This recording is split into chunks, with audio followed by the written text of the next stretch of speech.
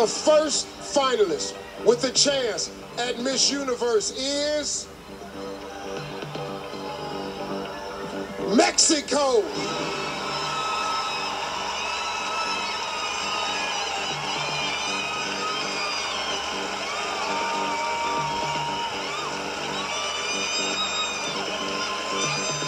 She will be joined by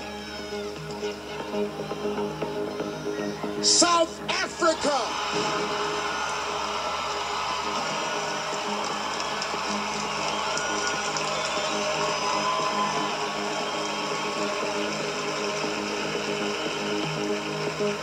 This is it. Our final contestant in the top three is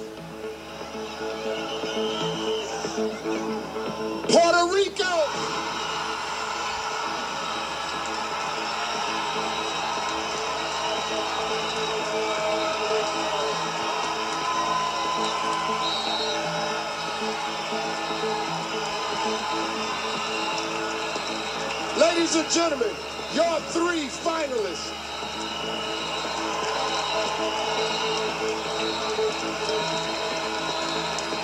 Well, ladies, you worked very hard to get here, but there is no rest for the weary.